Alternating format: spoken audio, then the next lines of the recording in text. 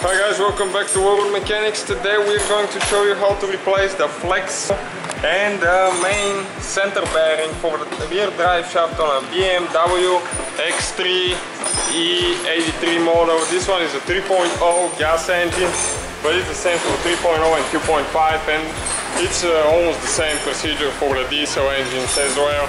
So stay with us to see how we are going to do that. Thank you guys for watching us.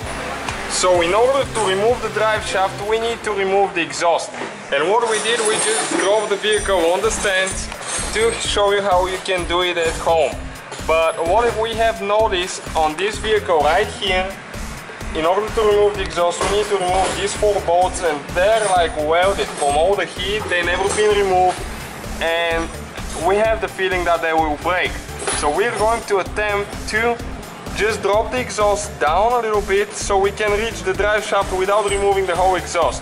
It's easier to remove it if you can, but if you break one of those bolts you have to drill it out and it's really a pain in the butt to do that. So stay with us to see if we actually can do it without dropping the exhaust. Okay, now we're in the middle of the vehicle and we need to remove these four bolts right here and there is four more on the other side. This, this one is holding the exhaust up to the body. So with a 13 millimeter socket uh, and back, you can just use a ratchet. Take them off, all four of them. Okay, now we can pull this metal plate out of there. And next we need to do the other four. Two on this side and two on the other side. Okay, we're done with these two and now two more. And now be careful, the exhaust might drop a little bit the rear one is still holding so. Okay. A little bit.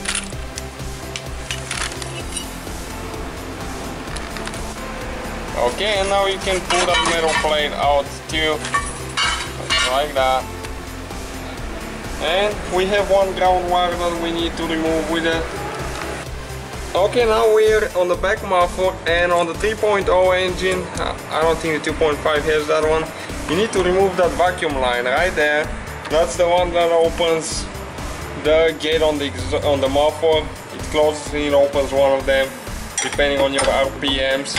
And now we have two bolts right there that we need to remove with the 13 millimeter socket. It's really hard to show you guys, but they're in the corner. Okay, let me show you right there. And those are holding the exhaust up. So okay, right there, that's the nut. So before you proceed to remove more, you need to put a block, wood block or something holding the exhaust so it doesn't fall on you. Okay, this is the second nut. This one had some rust built. And now we have two more on the other side, and they identical like the ones here.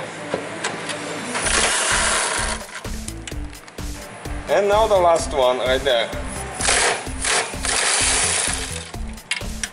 Okay.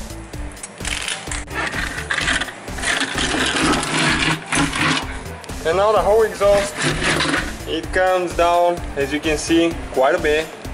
So I think it will give us enough room to remove the drive shaft without removing the whole exhaust system and the four bolts that are very problematic on this model. Okay, this metal shield plate right there, there is many bolts with 10 millimeter socket that we need to remove all the way and it will come off. There is quite a few of those, so, uh, one here in the corner but ours is missing. Okay, and one down there next to the center muffle one in the corner this is there.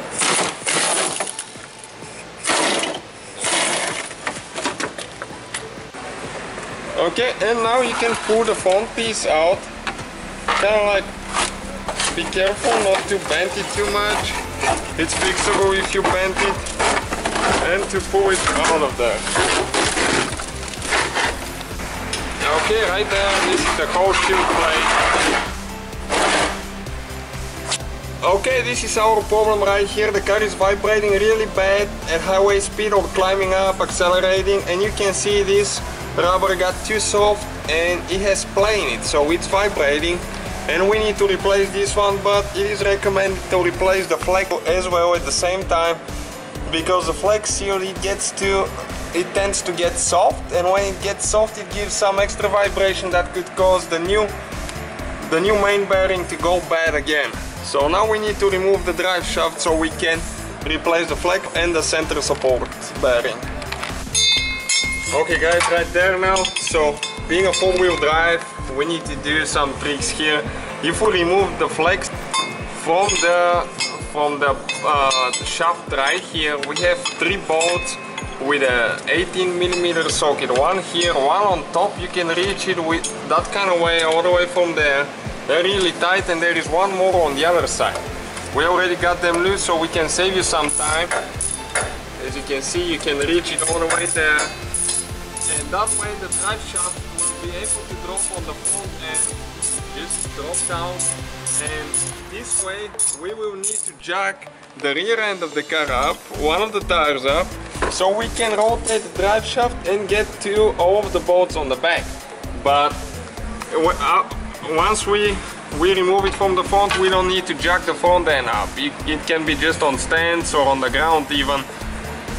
So you don't have to put the whole car in the air for that procedure. Okay, this is the second bolt, it came out and now the third one. And that should be able to let the drive shaft go down but we also need to remove the two bolts on the center support right here. Okay now one more bolt on the center support. Right there one nut actually with a 13 millimeter socket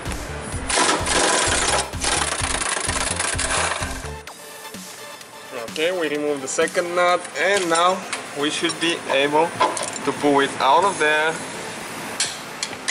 And now with a big screwdriver just pry it until it gets out of the shaft right there. And you can pull it to the side.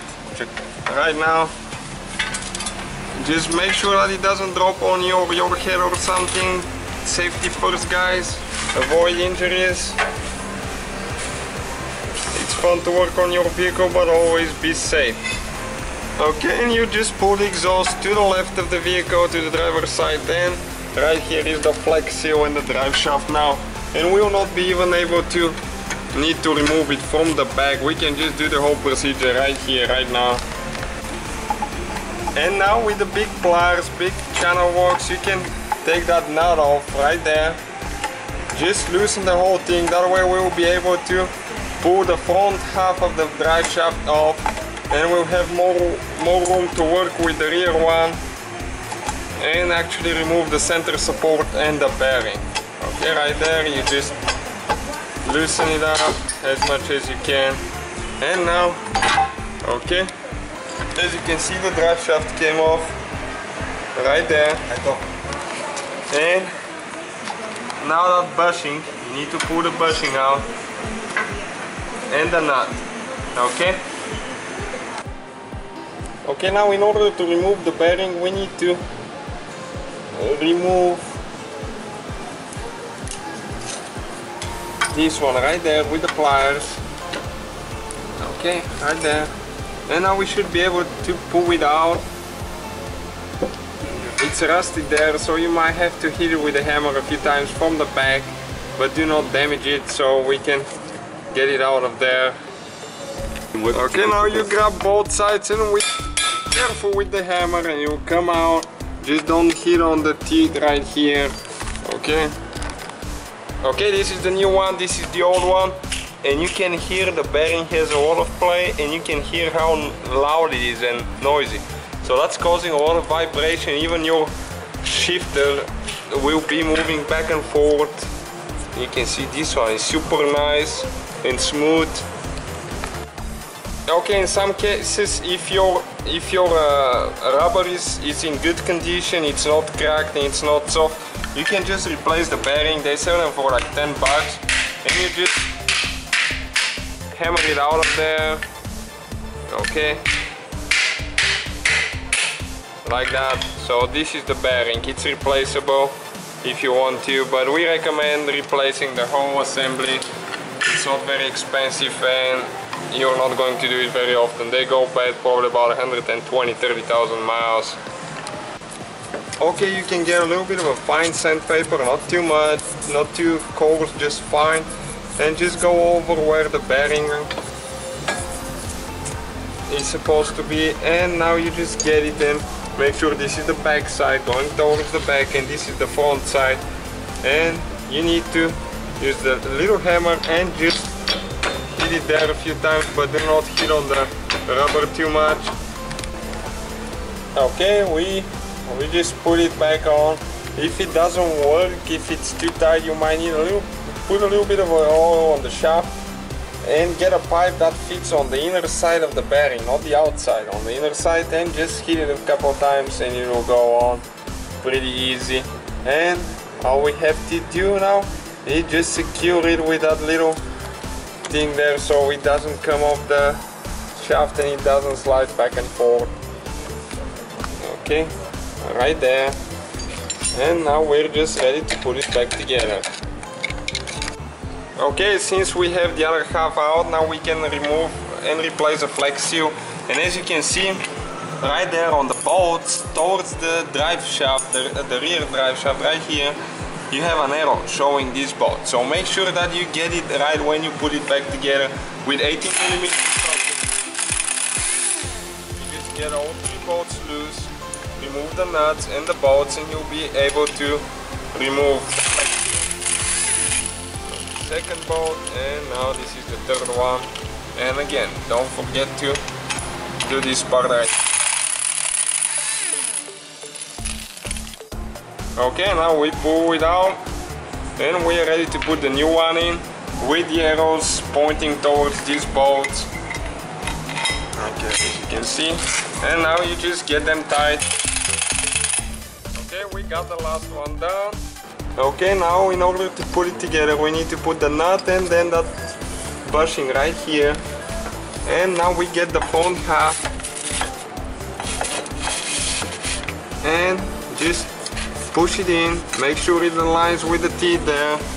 And okay like that, it pushes in. And now we need to get the, the nut tight again with the pliers or pipe wrench you can do that. Okay like that. Make sure that it...